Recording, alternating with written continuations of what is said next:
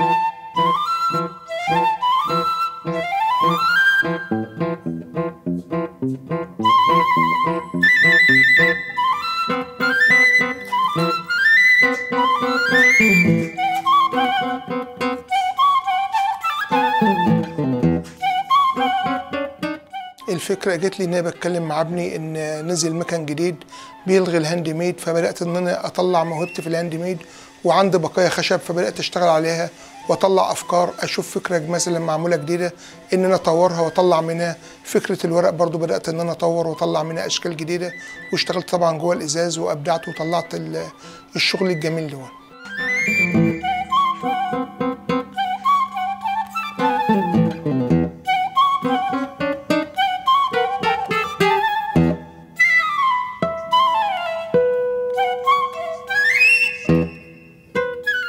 الشغل اللي عملته دون من خلال بقايا الخشب الموجودة وطورت طبعا وطلعت شغل كتير منه واشتغلت على الورق وكل ما أجيب إزازة أبدأ أفكر أعمل جواها إيه آه، ومن خلال دراستي في دبلوم الحديد آه، كنت بعمل محاور كتير وفي أفكار كتير.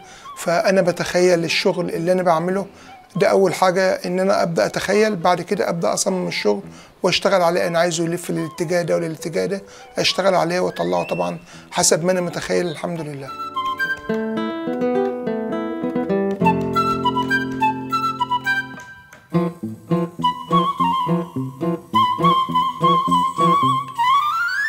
فكرة الورق آه، في فنان شفتها الفنان عالمي عاملها.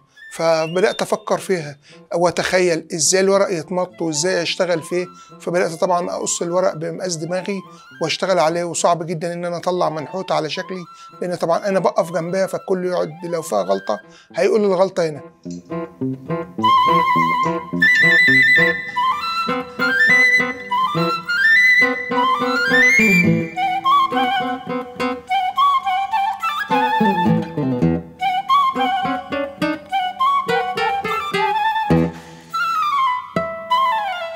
ومن خلال أعمالي الفنية دي. طبعا أنا عايز أتمنى إن أنا أخش معارض فنية كبيرة خارج مصر إن إحنا نقول مصر فيها فنانين كبار.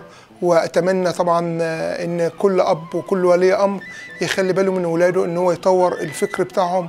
أي حد عنده موهبة يحاول ينميها عشان يوصل برضه يكون فنان عالمي.